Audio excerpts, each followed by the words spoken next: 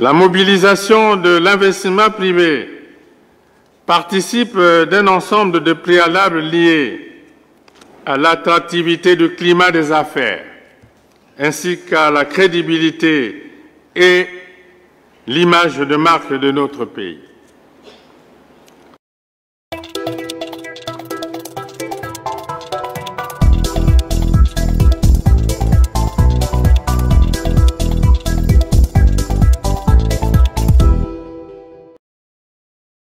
Lors de son allocution sur l'état de la nation, le dictateur, le despote Denis Sassou Nguesso a évoqué une panoplie de sujets, dont celui de la lutte contre la corruption dans le pays. Une véritable provocation pour certains, une indignation pour d'autres. Comment le despote congolais peut-il parler de lutte contre la corruption alors qu'il est le visage, la tête de Pandore de toutes sortes de dérives au Congo? La corruption ne devrait pas s'arrêter sur les détournements de fonds publics dont sa famille et lui sont impliqués. Elle devrait aussi porter sur la violation du pacte républicain dont il a souvent abusé et violé. Dans cette optique, nous appelons une fois de plus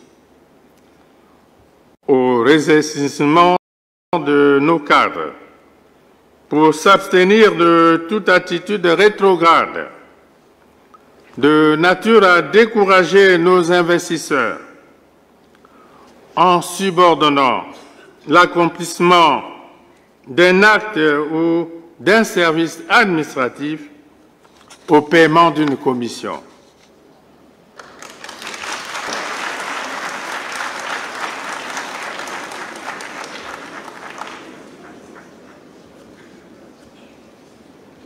Et donc, euh, nous nous comprenons.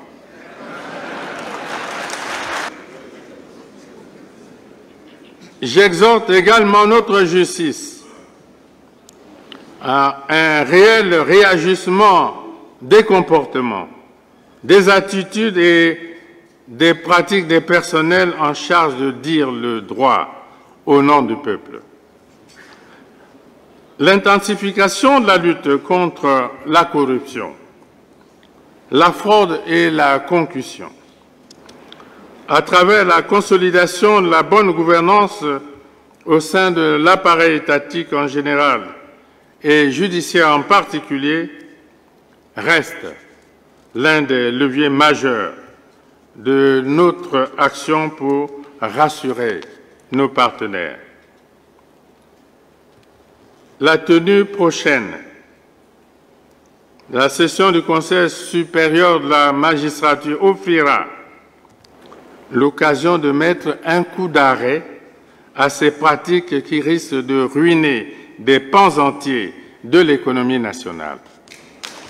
Il reviendra au gouvernement, reviendra au gouvernement de poursuivre cette œuvre de redressement des mentalités par des conseils de discipline et des sanctions exemplaires à l'endroit des fonctionnaires indélicats.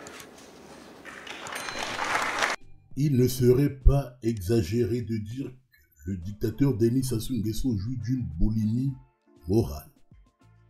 Un voleur qui veut lutter contre la corruption.